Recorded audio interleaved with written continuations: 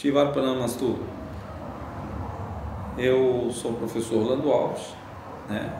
Iniciaticamente eu tenho o meu nome chamado Shaiva Vidnyana Acharya e hoje eu gostaria de falar sobre essa confusão que existe de opiniões a respeito é, do Vedanta com o Shaivismo de Caxemira.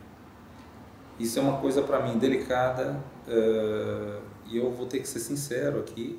Espero que alguém que tenha cometido alguns enganos não se ofenda e procure corrigir. Tá? Eu vou dar algumas dicas de como você vai fazer isso. E você que vai ter que ter decisão pessoal para poder arrumar isso. Isso não se arruma com um texto, isso se arruma no decorrer de anos dentro de um processo espiritual. Tá certo? Então você vai ter que escolher a escola, vai ter que escolher um preceptor ou um guru, se ele for competente para te ensinar realmente. Gurus tem um monte por aí, eu só não sei quais ou quantos são competentes o suficiente para falar das escrituras e te dar exemplo para que você siga, tá? De coisas que ele realmente faça e tenha peso realmente, como diz a própria palavra guru que vem da raiz ga-ira, que é aquele que tem peso, aquele que acende a luz no meio de uma escuridão, que te clareia coisas que você não consegue enxergar, bom? A primeira delas que eu vou comentar a respeito do Shaivismo de Cachemira e da espiritualidade nós temos uma, uma realidade espiritualista. Isso é um lema do Shaivismo de Caxemira. Sendo uma realidade espiritualista, para nós o absoluto único é Shiva. Tá? Não importa quantos deuses tem no Vedanta. Tá bom? Então quando eu adoro, aqui atrás eu tenho Ganesha, eu tenho Durga à minha, à minha esquerda aqui, para você seria a sua direita, aqui atrás de mim está Durga, e aqui atrás de mim está o Shiva Linga com um tridente aqui do lado. Tem um tridente e eu tenho ali uma imagem pequenininha que a minha guru me deu de Mahakala. O Murti de Mahakala não está aqui, está no Shanstan. Shanstan é um instituto, é um centro de estudos espirituais elevados, né, que fica lá em Mariporã. É lá que tem um Murti vivo de Shiva. Essa pedra que está aqui atrás é Shiva também, com três listas, e ela sai do Narmada um rio sagrado, um dos sete rios sagrados da Índia, e ela vem rolando e naturalmente ela sai com essa lista, mostrando que Deus dá isso para os devotos, para a gente poder adorar Ele e lembrar dele sempre. Né? Então esse é um linga, que é uma forma de xalagrama, é um xalagrama numa forma de linga. Tá? É uma, uma, outra, uma outra composição de devoção a Shiva. Tá bom? Então o Shaivismo, nós adoramos. Tem gente que confunde e acha que o Shaivismo não se adora imagens. Quem acha isso está enganado, tá? Shiva existe sem forma e com forma, tá? Para o Brasil, eu adotei ter no altar as imagens, inclusive o Murti vivo de Deus, que tanto nos Tantras quanto no Vedanta, na via iniciática mais forte, que é o Shruti, as revelações, elas determinam e exortam que, elas exortam que nós devemos adorar Deus e cada um deve escolher é, a identificação melhor que tem. Hoje a minha identificação é por Shirikanta Bhairava. Shirikanta Bhairava é a forma confidencial de Shiva no Shaivismo de Kashmir. Essa forma sendo confidencial, não é todo mundo que pode chegar. Você pode, na verdade, fazer, você só não vai fazer certo. Expressar sobre o Shaivismo sem você ler, sem você passar por um processo espiritual, sem estudar com alguém sério, né? Eu, por exemplo, eu tenho minha guru até hoje, mesmo tendo me tornado um mestre espiritual, um representante que é raro no mundo dentro dessa tradição, a minha guru continua viva e eu continuo tendo todo o amor devocional a ela. As pessoas de hoje, elas querem falar de uma vida espiritual sem seguir nada, tá certo? Então, quando você faz isso, você está falando coisas da sua cabeça como se as coisas virassem uma realidade a partir do que você fala, né? Você precisa ter um cuidado de que esses princípios das escrituras, eles existem para as pessoas que seguem, para as pessoas que são adeptas e para aquelas que têm propensão espiritual. Isso não vira uma proibição, você fala. O único problema é que você não é adepto, então você vai incorrer em erros, que é o que eu sempre leio na, na maioria das vezes. Eu, eu sei que são erros inocentes, mas dentro do campo das escrituras, isso não é muito cabível, né? porque as escrituras, o, o, vamos entender melhor essa, essa realidade espiritualista, Esse conhecimento ele é absoluto dentro do Shaivismo. Dentro do monismo, do, de Shankara, ele é preciso, tá bom? Ele é preciso. Sendo preciso, ele só vai ser preciso se uma pessoa estudar ele de uma forma primaz, né? Ela, ela tem que ter um guru, ela tem que ter um processo de vida, um tempo da vida dela gasto com isso. Depois ela passa o resto da vida se aprimorando, porque isso não tem limite. Né? E geralmente as pessoas já expressam que, que sabem o que estão falando já, sem passar por nada, tá bom? Algumas se dão até nomes próprios, né? E, e, e, e viram personagens e tudo mais. Então, o realismo, a realidade espiritualista do Shaivismo é Shaivismo de Kashmir é único, tá? Não pode ser comparado ao Vedanta, assim como o Vedanta não pode ser comparado ao Shaivismo de Kashmir, tá bom? Isso não quer dizer que eles são, são linhas é, opostas, inimigas, ou eu, ou eu, ah, o Acharya é contra o Vedanta, eu não sou contra o Vedanta, tá bom? Inclusive, eu sou um grande examinador do Vedanta, eu acho que no Brasil eu fui um dos que mais escrevi sobre o Vedanta para esclarecimento das pessoas, só que eu não sou Vedantim, tá certo? É, o processo do Vedanta é um, o processo do Shaivismo de Cachemira é outro, gente, tá bom?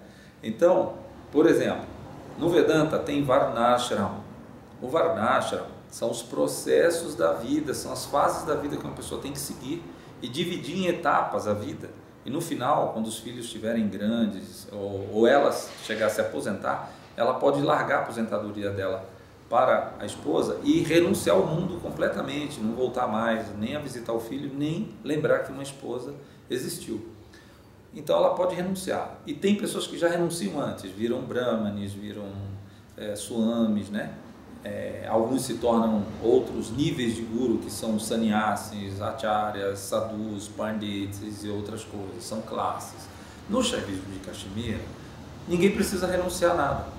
Só que você renuncia às opções mundanas, né, às coisas baixas. Isso não quer dizer que não, não renunciando você deixa de ter princípios, ética, você deixa de orar, você deixa de se dedicar a Shiva por isso. Até porque Shiva é um dos deuses mais exigentes que a Índia que tem manifestados para o ser humano, tá certo? Então poucas pessoas é, são aprimoradas dentro de uma visão do Shaivismo no mundo, tá certo? Se todo mundo fala do Shaivismo, o Shaivismo vai, já está bastante banalizado no senso geral. No senso preciso, ele continua o mesmo. Só algumas pessoas conseguem falar bem, expressar e entender isso bem, porque elas vivenciam isso. Não só vivenciar agora, como sempre vivenciaram e passaram por um processo espiritual, que é o que vai te dar respeito espiritual, que nós chamamos de status espiritual. Tá bom? Ninguém na Índia, você vai sair daqui do Brasil e na Índia ser respeitado. Você só vai ser respeitado quando você tiver o status, com quem você estudou, quanto tempo e o que você sabe, alguém vai te aferir para saber o que você sabe. Isso é muito importante, você saber. Se você não sabe, fica na internet digitando, achando que você está tendo status espiritual, isso não, não vai te dar nada. Pode te dar até obscurecimento, porque vai te dar só um, uma concepção intelectual, que nós chamamos, você vai estar atuando no campo de Tita, no campo da mente, do intelecto. Do intelecto que muitas vezes, só por agir dessa forma, já é considerado limitado. Certo? Se você agir no campo de Tite, que é o campo da consciência espiritual, quer dizer que você vai estar dentro de um campo de análise diferente de uma lógica meio decorada de texto, né, que é escrito na internet, de, de livros que já escreveram sobre aquilo, de pessoas que já expressaram por inspiração a transliteração do sânscrito, né, pessoas que passam anos e anos. E aí quando as pessoas vão expressar, elas expressam aquilo que elas lê, copia o texto, cola, que agora é uma era assim, todo mundo copia. Por isso que elas erram, porque elas não sabem o que estão escrevendo e nem falando, tá bom? Então eu, tô, eu estou aqui humildemente te explicando isso para você que, que gosta dessas coisas espirituais ou de linhas espirituais, faça essa coisa séria, tá bom? Se você para estudar tem que ser sério, então para aprender uma tradição que tem sânscrito, tem letras, tem literatura, tem história, tem história antiga, tem física, tem metafísica, tem diferentes visões filosóficas, mais a visão filosófica da tradição que não é uma coisa simples, não é só uma teoria. Vocês pensam que uma visão filosófica da Índia é só uma teoria, tá bom? Não é só uma teoria. Ela tem fundamentos, tanto linguísticos para expressar essa visão, por isso que vocês erram. Porque vocês querem expressar visões do Vedanta dentro do Shaivismo de Cachemira. Isso é um erro crasso, bem assim, bem ofensivo, tá bom? A, essa, a esse caminho espiritual tão sublime, tão puro, tá bom? É, tentem ser mais puros, assim. Procura alguém para estudar, né? Procura alguém para vocês vivenciar, passar um tempo da vida. Se vocês têm vontade, não precisa ter pressa, né? Porque quem for devoto, Deus vai derramar misericórdia, vai derramar bênçãos, vai derramar cripa, vai derramar tudo que você precisa se você for atrás, porque é de graça as coisas de Deus, tá? É, você pode pagar por um livro, é pela aula do professor, de um guru, porque ele gasta o tempo dele como o meu e outro, você vai pagar, você vai dar uma contribuição. É isso que você vai fazer, você nunca vai pagar. Eu nunca consegui pagar minha guru o que ela fez por mim, tá? É, então você tem que se tornar sério, você tem que se tornar acreditável quando falar de uma tradição. Tradição, não linha de yoga. Quando você quiser falar de Hatha Yoga, linhas de yoga mais comuns, é mais fácil de falar, porque ela não é uma tradição ela é apenas uma linha. Uma linha é uma coisa que todo mundo pode fazer, ler um livro, fazer na visão dela e seguir. O Shaivismo de Caxemira é um pouquinho diferente, porque ele foi passado desde Shiva, sem quebras, e com características específicas detectadas nos adeptos. Certo? Então, quando uma pessoa é reconhecida como um adepto, seja que nível for ele, seja acharya, seja pandita, um, um acharya é um pandita também, mas tem gente que é só pandita, tem gente que é um pandita acharya, né? um erudito e mais um preceptor, tem gente que é um erudito de peso e, e Kashmira é, é um esplendor para mostrar isso na prática, né? todos são muito bem formados, como o Vedanta ortodoxo também é, ortodoxo, tá? não é um Vedanta comum, Vedanta a, a, seria melhor eu expressar até a tradição védica. Nem todo mundo chega no védico. Existe muita propaganda védica, né? muito marketing védico, mas o védico, desculpe, não está muito por aqui, porque precisa do sânscrito. Precisa de uma precisão do sânscrito e da percepção espiritual. É ali que você chega no védico. E isso precisa de um processo bem longo, com pessoas competentes. Tá bom? Então, Olha, entenda isso da forma mais carinhosa, por favor. Tá bom? Eu vou continuar num outro vídeo, para não estender muito neste, para que eu expresse a diferença do Vedanta com o Shaivismo de Cachemira, para ver se a gente chega num, numa concepção, pelo menos é, mental, do que é isso, para a gente evitar certos erros, certas discrepâncias espirituais. Tá bom? Vamos na Shivaya.